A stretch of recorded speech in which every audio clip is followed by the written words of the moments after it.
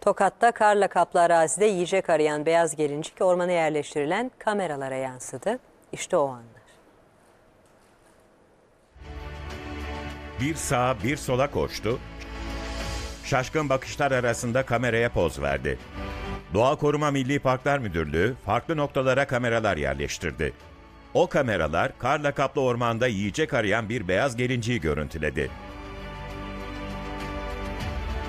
Sağa sola koşuşturan beyaz gelincik karnını doyurduktan sonra bölgeden uzaklaştı.